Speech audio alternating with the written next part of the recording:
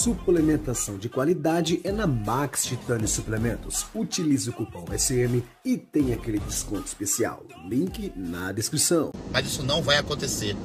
Pode ter certeza disso. Tá? Aceita que dói menos. Por enquanto tá rolando, né, velho? É isso que eu ia falar. Tipo, a gente falou aqui que, tipo, a gente tava desconfiado e tudo, mas, tipo. Eu acho que a gente subestimou, tá? É...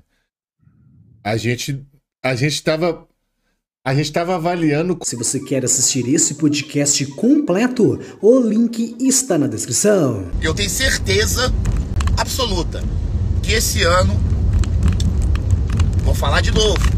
A Max, não vou falar do Ramon, não vou falar do Rafael, não vou falar só do Zanca, não vou falar em particular Lucas Garcia, não vou falar em particular sobre cada atleta. A Max esse ano vai chocar o mundo, vai chocar o Brasil. Entendeu? Então é, é isso que vai acontecer. E muito dessa desunião midiática parece que às vezes é em prol de um colapso interno, mas isso não vai acontecer. Pode ter certeza disso. Tá? Aceita que dói menos. A Max não vai se colapsar por nada disso. Pelo contrário, só se fortalece. A união só cresce, né? E o trabalho só segue. Tanto que eu tô indo para lá agora para mais um dia, mais um ano, mais um treino. E com isso, eu conto com a ajuda de vocês na jornada. Não só do Rafa, mas também a do Ramon, a do Faixa, com o seu trabalho, porque somos adultos, cara. Somos o mesmo time, somos empresa, somos Brasil. Então você que se gosta da gente, você que gosta da Max, não crie rivalidade entre nós. Não existe isso. E repito, nunca existiu e não vai existir. Pelo contrário, mande mensagem, mensagem positiva, né? Siga o canal de todo mundo, segue o canal da Max, segue o meu, segue o do Rafa, segue o do Ramon, segue lá o do Faixa, não sei, acho que tem também. Então, é isso, meu irmão. É pra zerar esse bagulho, sabe? Acho que alguém tem que vir como representante e levantar a voz. Se esse cara é sou eu ou é para ser eu, então aqui eu estou, tá? Porque eu já vivo esse mundo fisiculturismo há 25 anos. 25 anos, cara. Então tem muita gente que tá aqui, não tem nem 5 anos, não tem nem 5 meses. E tá falando das coisas como se fosse, sei lá. Entendeu? Sei lá o quê. Mas tá tudo certo. Beleza? No final das contas, só quero que tudo dê certo no final e que a gente possa sair feliz e vitorioso com tudo. Né? Porque não é à toa que a gente tá nessa caminhada, trabalhando, ralando, se f... todo, todo dia, né? É em prol de algo, algo maior, algo que levanta não só a gente, mas levanta o Brasil inteiro numa unidade só. Entendeu? Então é isso. Recado tá dado desabafo feito, tá bom? E que não só atletas Max, mas todos os atletas do Brasil aí possam se desfrutar dessas minhas palavras aí e seguir em frente. E fazer o seu melhor também para cada dia tá galgando novos lugares e em busca de novas jornadas com muito sucesso. É isso que eu desejo para todo mundo. Que é o que eu desejo sempre para mim, sempre desejei para mim. Eu nunca desejei para alguém o que eu não desejo para mim. Isso eu aprendi com, com um cara, né, chamado Francisco Edra. Eu tenho muito respeito, muita saudade. Falava assim, Jorlanzinho, o que eu não quero para mim, eu não quero para os outros. Correto? Então acho que é por aí. Entendeu? Valeu, galera. Papo dado, tamo junto. Tô falando do negócio do Jorlan treinando com o Brandão. Ah, e aí? Fala então. Então, por enquanto tá rolando, né, velho? É isso que eu ia falar. Tipo, a gente falou aqui que, tipo, a gente tava desconfiado e tudo, mas, tipo, o Jorlan alinhou os dias dele lá, alinhou a, refeição para poder comer no mesmo horário do Brandão, para chegar no mesmo, na mesma disposição, não sei o que mais. Pelo que eu fiquei sabendo, ele só não foi um dia. Eu acho que a gente subestimou, tá? É... A gente a gente tava A gente tava avaliando como projetinho zoeira, tipo assim. A gente tava avaliando como youtubers.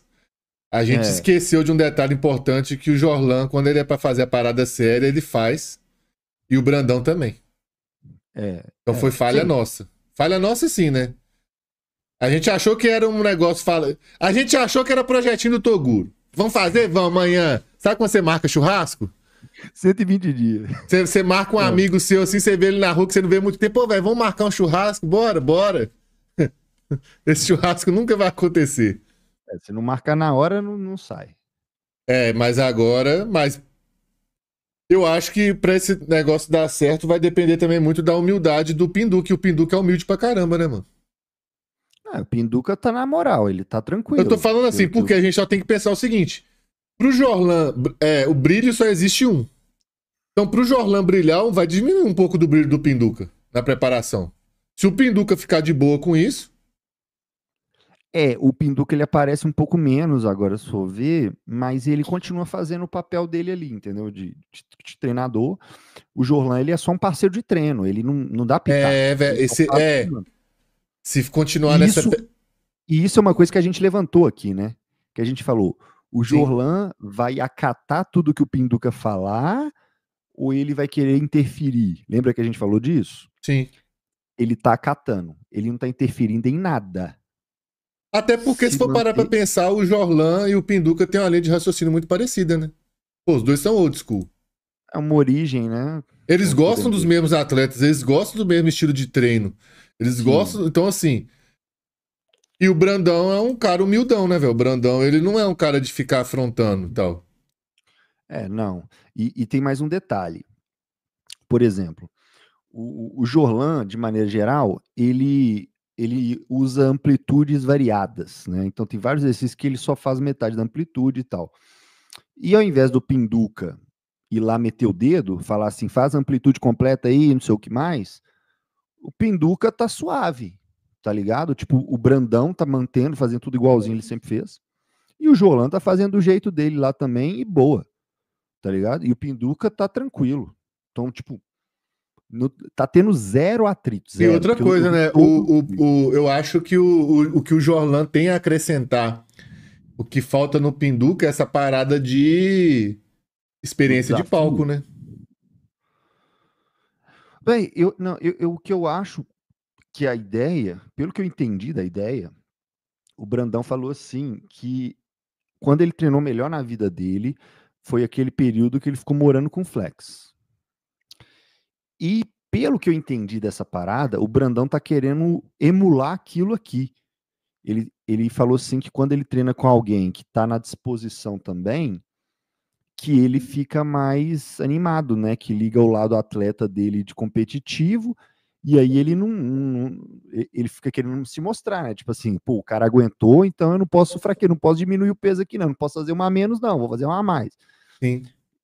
Ele, o Brandão falou isso em vídeo. Ele disse que na cabeça dele, se ele treinasse uma preparação inteira igual ele treinava quando ele foi lá com o Flex, que ele teria um resultado inacreditável e que ele queria fazer algo nesse, nesse nível. E aí ele chamou o Jorlan pensando que ele poderia se- fazer cumprir esse papel aí. E tipo, ó, agora eu vou mandar mais uma. Tem mais uma coisa que eu estou surpreendido. O Jorlan tá aguentando pegar os pesos do Brandão, filho. O Jorlan. Eu É. fiquei pensando assim, o Jorlan se meteu Neguinho. e ele não tá ligado, porque o Brandão tá no auge e o Jorlan não. Aí chegou lá, velho, deu pra ver. Tá ligado quando deu pra ver? Deu pra ver que o Jorlan olhou os pesos assim, falou: "Puta merda, vou ter que fazer isso". E aí ele, só que ele é o Jorlan, né, fi? Ele não pode afinar. Ele tem, ele tem todo um, uma imagem a, a zelar, né? Então ele não afina, não faz nem cara, fi. Ele só olha assim, ah, vou fazer essa porra aí. E tá fazendo, velho. E tipo, Não, e, cara, tá o, saindo. O estilo de treino do Jorlan é parecido com o do Brandão, né? O, o Jorlan, ele também tem uma resistência absurda, cara. É um cara diferenciado com isso. E o, e o Brandão também. Brandão é um cara que consegue fazer muita repetição, cara. É um negócio bizarro, velho. Então, isso é um negócio que eu mostrei, né? Porque o pessoal tá falando que o Ramon tava pegando mais peso que o Brandão. Aí eu falei, ó, galera, é, o Brandão